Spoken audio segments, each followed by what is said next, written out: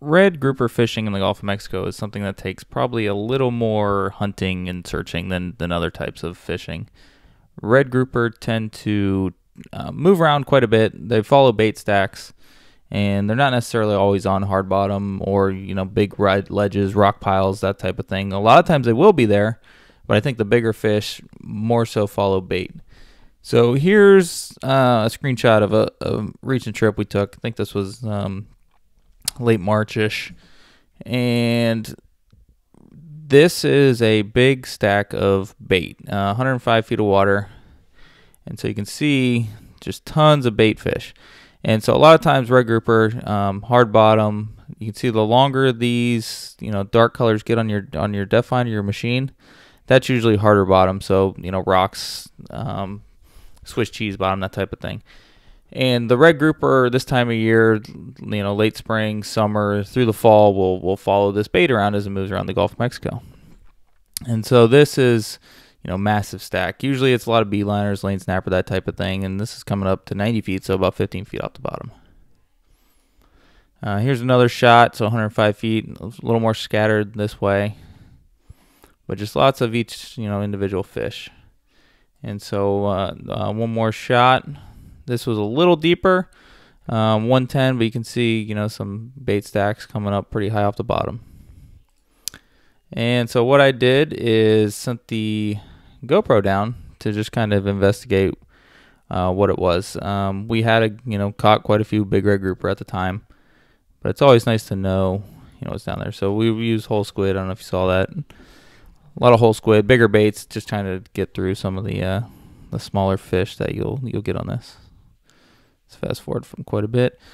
So you can see by hard bottom, some of the stuff red groupers on, it's it's not really a lot of you know hard structure. It, it's basically these open areas of bottom with some rocks, um, you know, some slight contours, depth changes but it doesn't take much to hold bait stacks. And so what you end up doing is kind of driving and looking around and just trying to find the bait when you get on some of these big hard bottom spots. So you can see it's, you know, a little bit of rockiness, a little bit of vegetation, nothing real crazy. But lots of bait. By bait, I mean beeliners. Um, is that something a little bigger? So there's something a little bigger back here. Can't quite make out what it is. Um, the deeper you go in some of these bait sacks, you'll find you know big red snapper. Yeah, there's a couple big fish in the in the back over there.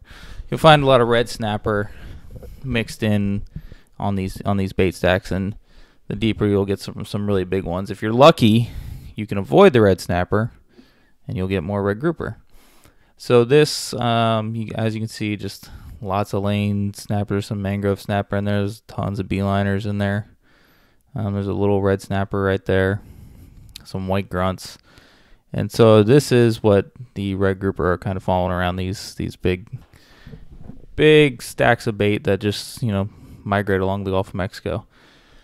And it might be difficult to see on smaller screens, but there's a lot of fish swimming around on the back as well. There's some bigger stuff, and there's a nice lane snapper. The lane snapper, you can see the, the yellow fins, very tasty eating fish. But the bottom is, is nothing crazy. It's you know, just just a big open area.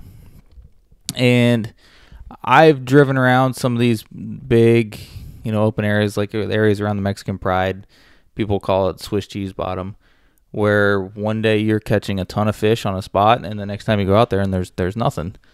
That's just because if you're finding this bait and all these fish, um, there's a nice mangrove snapper right there you're finding these fish, that's where you know the the biomass. That's where you're going to get the grouper and whatnot out of the middle of them. So I just wanted to kind of you know send the GoPro down and see what it was. There's some cool little reef looking fish, little angelfish and whatnot. But I don't actually see any grouper in here. but that doesn't mean they're not necessarily there. Grouper aren't always the, the most, you know, they don't really seek out the camera. So as I start reeling it up, you can see some of this, you know, snapper is, is up off the bottom quite a bit. But nothing crazy. Just a lot of fish holding on the structure. And so what we do is we tend to send down, you know, variety of baits. Uh, and we use a lot of, you know, this is a Hog Ball XL 2 ounce whole squid, bigger sardines. Um, at to to start, that'll kind of get the the scent in the water. You might end up getting pecked off a lot just because there's so many beeliners down there. But by the end, you're getting some of these red grouper coming in saying, "Oh, what's going on over here? Why are all these fish, you know, eating that?" So the bigger bait you use, will get some of those bigger red grouper. Um, so it's a two ounce hog ball XL with the uh, with a circle hook on it. And then we also use a lot of just standard fish finder rigs. So let me zoom in a little bit here so you can see as this one is coming up, kind of what the fish finder rig looks like. This was on a whole squid. So braided line, um, fairly long leader to a weight, and then the weight to the swivel, and then probably another three feet to a circle hook. And this is a very large red grouper, especially for 100 feet of water. And so that one ends up being right there. I mean, it's, you know, 15, 16, 17 pounds probably fat. And then, so these fish are chasing around those bait schools. And since you're fishing a lot of open bottom, you can tend to use, you know, a little lighter tackle. We use a lot of spinning rods. They're not necessarily going to get you stuck in a whole lot unless there's, you know, sitting on some Swiss cheese bottom. So that's the one that was caught on that, that hog ball. Um, that one was with a pinfish, I believe. Yeah, we use a lot of spinning tackle, lighter tackle, just because it makes it a little more fun, a little more sporting. Um, so, I mean, spinning rod, it's fun. It's a lot of fun to get, you know, big grouper on spinning rods. So here's Tony and Caleb, you know, double header. That's a real light spinner. A lot of fun. And on these spots, you'll get the red grouper. You know, if the mangoes are feeding, you'll get some mangoes. You get a lot of lanes, get a lot of beeliners. Just a just a whole smorgasbord of fish, depending on you know the size of the biomass you're you're finding. And each day, each day to these you know open bottom spots are something different. You never really know what to expect, but the red grouper will will tend to be there underneath all those other fish. So what that is is a big big margate very tasty white meat, one you know one of the best eating fish out there, and they tend to live on you know that open bottom as well. Uh, so that's a that's a good size one, and then Caleb, another red grouper as well. So here's a picture of that Margate. It's a big one. It's a good one. It's the Porgy family, some of the best eating fish in the ocean, and the Rhodan on the front of the contender. I think a lot of people are, are going to the Rhodan now. It's almost a lot easier, especially when you're fishing these bait stacks. They're moving around a lot, so the ability to move around is is is very helpful. The bait moves, you know, spot to spot and, and chasing. A lot of times, if you get set up on anchor, you might get a couple fish and then they shut down. And you put a lot of time into to get your heading and your anchor set and letting it out. And now you got to pick it back up. Whereas the troll motor lets you stay right on them.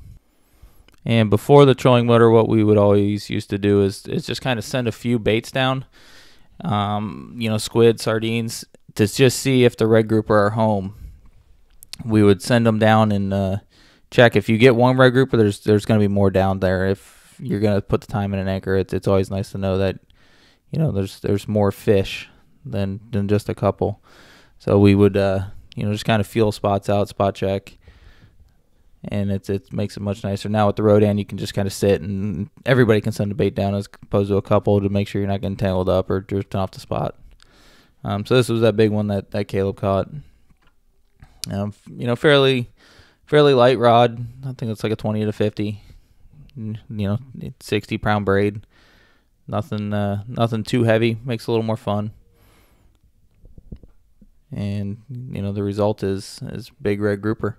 So the the keys are you know finding the stacks of bait, getting bigger baits down in them. If you want the grouper, if you want the snapper, you can always you know target the snapper, and you might end up getting some grouper in them as well. Um, you can fish jig heads in this if the mangoes are there. They'll usually be on top of the bait stacks. So if you know you see a ten foot show off the bottom, they'll be you know right at the top of that. So jig heads with you know cut bait, shrimp will will work fairly well for all of that. So that's the uh, the big one.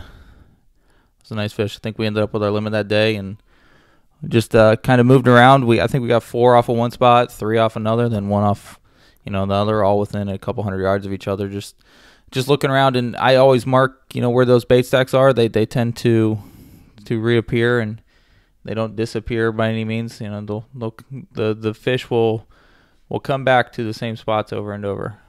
There's there's no doubt about that.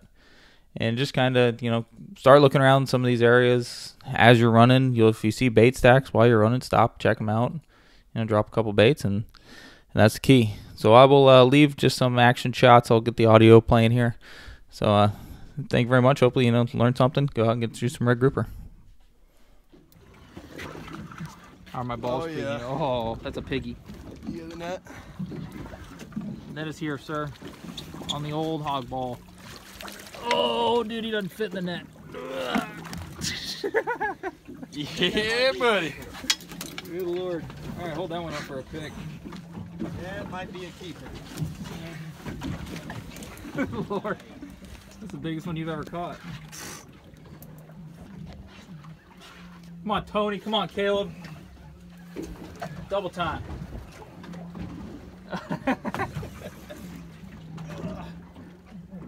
Just put that down for now, Kyle. Get that net ready. Watch your uh, tip. color. We got a. Is that a massive porgy? He's got a massive porgy. Here you go. He's so good. You can let that one in. Look at this. Wow, dude. That is a big one. Huge. Okay, we'll keep that. Then we got another. Another nice one, yeah. Lights on, baby. Bite is on. You got him coming? Yeah, oh, yeah. Sort of. Cal, how do I shift this to? You're you're good. You're good. Get some cranks. I mean, I put you in the land of the giants. the hole, so. We hope. Big fish. It's a big fish. You broke off my ball? My ball. Huh. Cool. All right, more business. Did you get hit instantly too? Yeah. This looks like a harder bottom right here.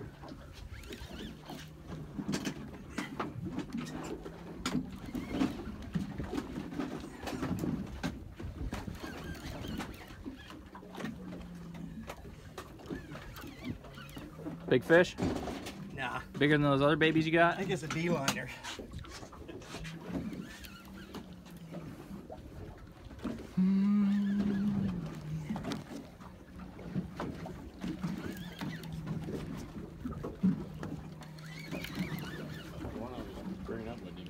On the squid, right? Must have just been Chafed. Oh, jeez. Little baby? that net? Amberjack. Is it? No. No, that's a fat grouper. oh, that's the biggest one yet. Oh That's a fat boy. Uh, is he gonna fit in there? Yeah. That well. Dude. That's a good one. All right, Caleb, you need a picture of that one. I'll do a picture of that one. I wanted to wait till I caught a real fish. Good one right there. That's one of the biggest.